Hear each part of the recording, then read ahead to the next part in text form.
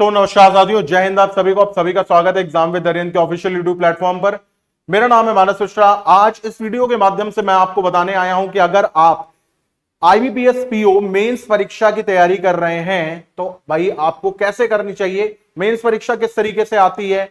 क्या उसका स्ट्रक्चर होता है? कौन से टॉपिक इंपॉर्टेंट होते हैं? कैसी कट ऑफ़ जाती है? और उसकी तैयारी करने के लिए वो इंपॉर्टेंट कीवर्ड जो जिनकी हमें जानने की ज़रूरत है, वो सारी बात इस छोटे से वीडियो में मैं आपको बताऊँगा, बिना स्किप के इसको सुनिएगा पूरा ध्यान से, और उसके बाद आप अपनी प्लानिंग बनाना शुरू करिएगा। आप चाहें तो इसकी वीडियो का जो जिस्ट है, आप उसको भी अपनी प्लानिंग में शामिल कर सकते हैं, क्योंकि मैंने ये बात बहुत ही रिसर्च करके आपको बताई है। तो सबसे पहले हम लोग शुरू करते हैं आज के अपने सेशन को, जो कि है IBPS PO mains full strategy और 2024 का।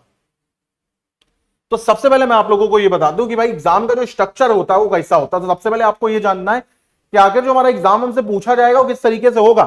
तो देखो यहाँ पे, सबसे पहला जो आपका टेस्ट है, यहाँ पे मैंने आपको सीरियल नंबर दे रखा है, यहाँ पे नाम दे रखे हैं टेस्ट के नंबर ऑफ़ क्वेश्चन कितने होंगे मैक्सिमम मार्क्स यानी total marks medium of examination क्या क्या होगा, और कितना टाइम अलॉट है, जैसा कि आपको पता है banking sectional test sectional timer पे चलता अब तो आरआरबी में भी हो चुका है तो कहीं ना कहीं बैंकिंग परीक्षा थोड़ी थोड़ी टफ भी होती है, इसीलिए लोगों को कहीं ना कहीं प्रॉब्लम आती है, लेकिन अगर आप स्ट्रैटेजी के साथ कंसिस्टेंटली मेहनत करेंगे, बिना अपने ऊपर कोई शक किए तो 110 परसेंट आप एग्ज़ाम निकाल लोगे। समय ज़रूर लगता है, लेकिन हाँ प्रोग्रेस का चार्ट ऊपर जाता ही जाता है, अगर कंसिस्टेंसी और हार्डवर्क ये दोनों चलते जा रहे हैं लगातार तो। तो चलो, अब बिना समय गवाए हम लोग आज की बात को शुरू करते हैं। तो सबसे पहले देखो, यहाँ पे आता है आपका रीजनिंग और कंप्यूटर एप्टीट्यूड कंप्यूटर के यार बहुत कम क्वेश्चन आते हैं कभी कभी आते हैं कभी कभी वो भी नहीं आते हैं। लेकिन मैं आपको बताऊँगा करना क्या टोटल क्वेश्चन भाई पैंतालीस होते हैं। टोटल मार्क्स साठ होता है तो रीजनिंग आपकी साठ नंबर की आती है, पैंतालीस क्वेश्चन की। हिंदी, इंग्लिश दोनों में आपको मिलता है नेट एक घंटे का समय मिलता है, ये बात ध्यान रखिएगा। सिक्सटी मिनट आपको मिलते हैं लॉजिकल रीजनिंग के सेक्शन को करने में। फिर उसके बाद नंबर टू पे आपका आता है इंग्लिश लैंग्वेज और इंग्लिश लैंग्वेज में पैंतीस क्वेश्चन होते हैं। पैंतीस क्वेश्चन में आपको चालीस मार्क्स मिलते हैं, और ये सिर्फ़ इंग्लिश में आएगा, हिंदी में नहीं आएगा। और इस पैंतीस क्वेश्चन के लिए आपको चालीस मिनट मिलते हैं, पर्याप्त समय मोर देन इनफ है। फिर आते हैं डीए और इंटरप्रिटेशन यहाँ पे देखो इन्होंने क्वांट्स नहीं बोली, इन्होंने बोला है डेटा एनालिसिस और डेटा इंटरप्रिटेशन लेकिन फिर भी आपको क्वांटिटेटिव एप्टीट्यूड के कुछ चैप्टर्स पढ़ने पड़ेंगे। तो इसके भैया पैंतीस क्वेश्चन आते हैं, पैंतीस में से आपको साठ मार्क्स मिलते हैं इंग्लिश हिंदी दोनों में होता है, और इसके लिए आपको पैंतालीस मिनट मिलता है। कैलकुलेशन इसमें हाई होती है लॉजिक थोड़ा बहुत लगता है, लेकिन ज़्यादा परेशान होने की ज़रूरत नहीं है, ये भी डुएबल है, आपको सारा ऐसे भी नहीं अटेम्प्ट करना होता है। General economy and banking awareness के 40 क्वेश्चन आते हैं। 40 मार्क्स के होते हैं, इंग्लिश हिंदी दोनों में होते हैं 35 मिनट मिलता है। मैं इस सेगमेंट को बोलूँगा डू डाई याद रखिएगा, आप रीजनिंग मैथ से बैंक पीओ नहीं निकाल पाओगे, आप बैंकर नहीं बनोगे रीजनिंग मैथ से, आप आप बैंक पीओ निकालोगे इन दो सब्जेक्ट के दम पे इंग्लिश लैंग्वेज और जनरल इकोनॉमी और बैंकिंग अवेयरनेस के दम पे, जिसमें मेनली आपका मोस्टली आपका करंट अफेयर्स ही आपसे पूछा जाता है। ठीक है? तो ये कुछ बातें हम लोगों ने जान ली, फिर अब हम देखेंगे इंग्लिश लैंग्वेज का एक और सेगमेंट होता है जो लेटर राइटिंग और एसए का होता है, एक लेटर राइटिंग एक एसए दो क्वेश्चन होते हैं, पच्चीस मार्क्स का पूछा जाता है इंग्लिश में होता है, आधा घंटा आपको मिलता है। टोटल समय आपको जो मिलता है, वो मिलता है तीन घंटा तीस मिनट ठीक है? तो आपका ऑप्शनल प्लस डिस्क्रिप्टिव मिलाकर के तीन घंटा तीस मिनट ठीक है? नंबर ऑफ़ क्वेश्चन एक सौ सत्तावन हो गए मैक्सिमम मार्क्स दो सौ पच्चीस हो गए। मेंस के नंबर बहुत इंपॉर्टेंट होते हैं, अभी बताऊँगा क्यों। अब आपके मन में यह होगा कि, सर, एक बात बताइए कि क्या क्या चीज़ें पढ़ लें जिससे हमारा क्वांटिटेटिव एप्टीट्यूड तैयार हो जाए, बहुत अच्छा।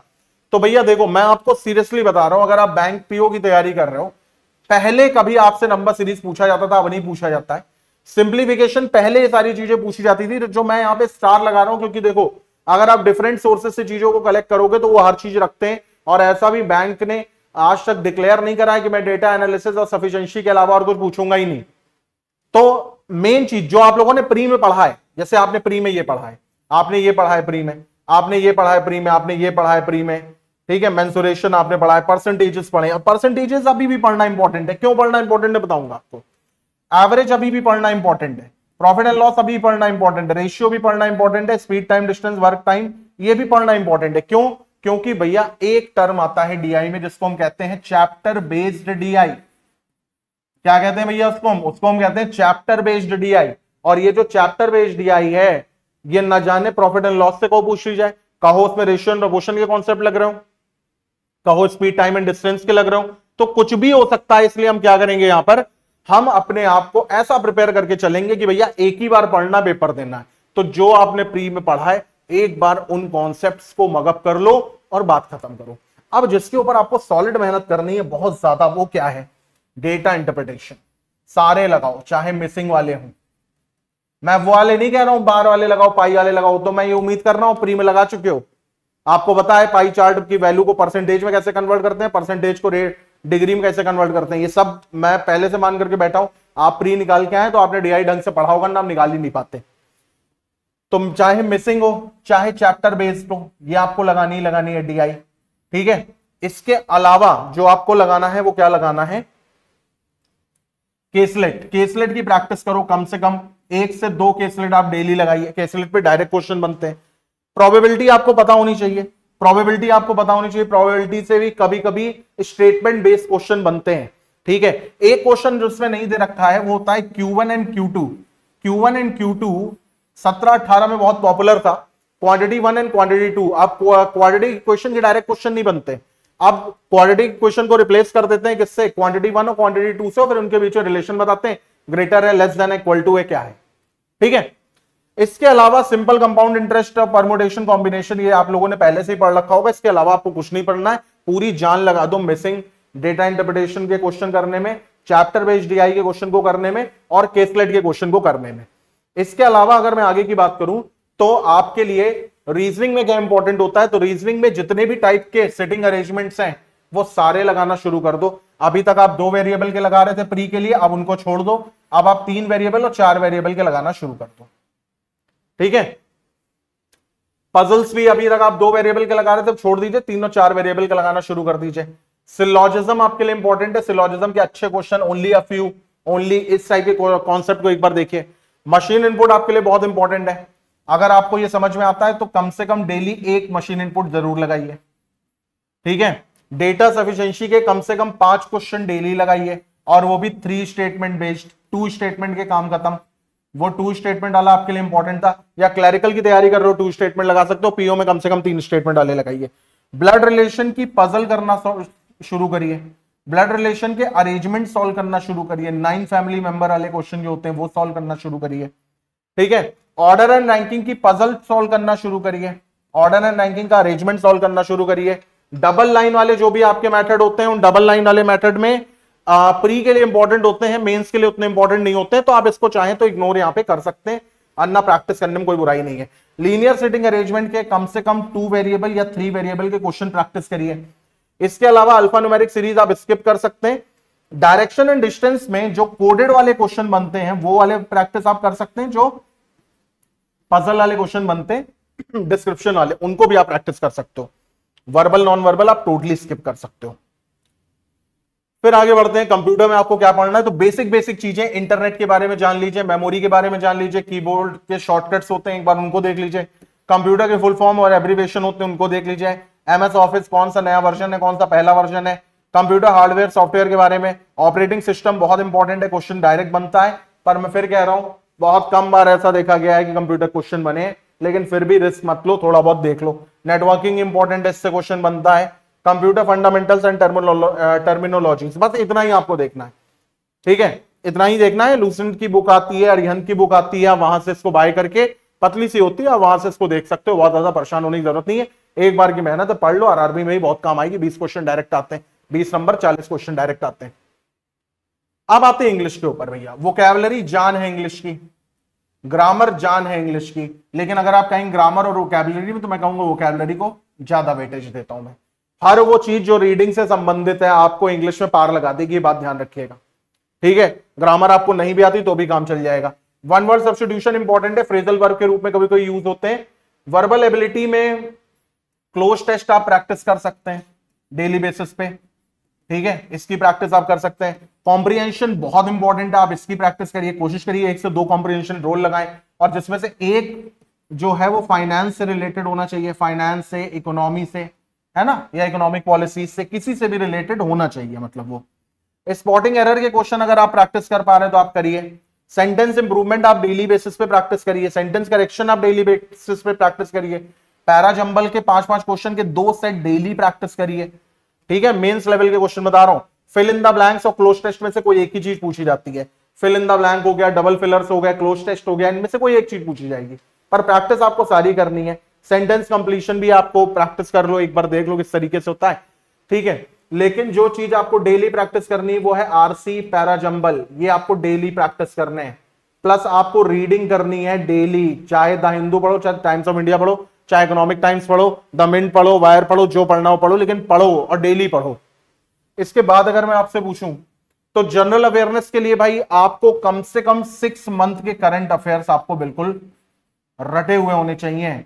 एग्ज़ाम विद अरिहंत के यूट्यूब चैनल पर मैम डेली सुबह करंट अफेयर्स लेती हैं। आप ज़रूर उनको देखा करिए। बहुत डिटेल में एक एक चीज़ को एक्सप्लेन करती हैं। नोट्स अपने बनाइए। Exam with Ariyan dot com पर जाइए। वहाँ पर भी आपको करंट अफेयर्स मिल जाएँगे, अपडेट होते हैं, डेली बिना कोई एरर के तो वहाँ से आप इन चीज़ों को फ्री में कर सकते हो।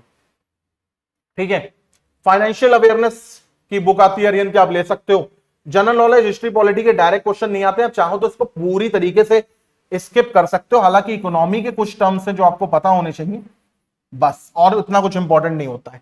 स्टैटिक अवेयरनेस के कुछ क्वेश्चन इंपॉर्टेंट होते हैं तो वो भी एम के बांडे सर की बुक है अरिहंत की, वहाँ पर आप जाइए। स्टैटिक अवेयरनेस के जो भी पॉइंट्स उनको देख लीजिए। तो ये डायरेक्ट क्वेश्चन वहाँ से बनते हैं। हालाँकि ये क्वेश्चन ये पोर्शन अब उतना आसान नहीं रहा जितना कभी होता था जहाँ हम लोग देते थे पेपर अब थोड़ा थोड़ा डिफिकल्टी लेवल बढ़ चुका है। तो सारा खेल जो है वो इसी पे निर्धारित करता बस और कुछ नहीं है।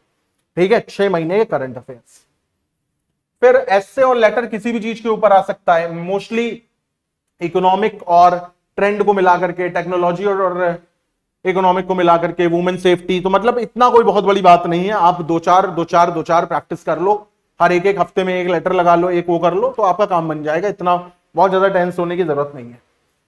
फिर बात करते हैं कि, सर, अगर हमारा मेन्स निकल गया तो क्या होगा? फिर भैया आपको इंटरव्यू के लिए बुलाया जाएगा। चालीस परसेंट आपको क्रॉस करना है अगर आप जनरल है। पैंतीस परसेंट करना अगर आप S C S T OBC है। ठीक है? इसके अलावा अस्सी परसेंट आपका मेंस लिया जाएगा और ट्वेंटी परसेंट आपका इंटरव्यू लिया जाएगा। तो इन बातों का भी ध्यान रखना कि सब पूरी जान इसमें झोंकना, हालाँकि ये भी इंपॉर्टेंट है, पर उतना नहीं। अब है तो यार जो साक्षात्कार तो आपका होगा, तभी तो आप चयनित होंगे, ऐसे तो आप हो भी नहीं पाएँगे। ठीक है? तो फ़िलहाल अभी इंटरव्यू की टेंशन नहीं लेते हैं, अभी इसकी टेंशन लेते हैं कि मेन समय क्या करना है। तो समाप्त करने से पहले इस वीडियो को मैं आपको बताऊँगा, बगैर स्टडी प्लान के अपना एक दिन भी ना शुरू करना, क्योंकि सब व्यर्थ हो जाएगा, कुछ नहीं आप कर पाएँगे। डिटेल सिलेबस आपको मैंने बता ही दिया है, इससे ज़्यादा बताने की ज़रूरत नहीं है। तो आप डिटेल सिलेबस को आप स्किप कर दो प्रीवियस ईयर क्वेश्चन से। वही आपका डिटेल सिलेबस है, और कुछ भी नहीं है। मॉक टेस्ट लगाना शुरू करो प्री निकाल करके आयो छोटी मोटी बात नहीं है। मॉक लगाओ, कोई बहुत बड़ी बात नहीं, लगाइए मॉक लगाना शुरू करिए।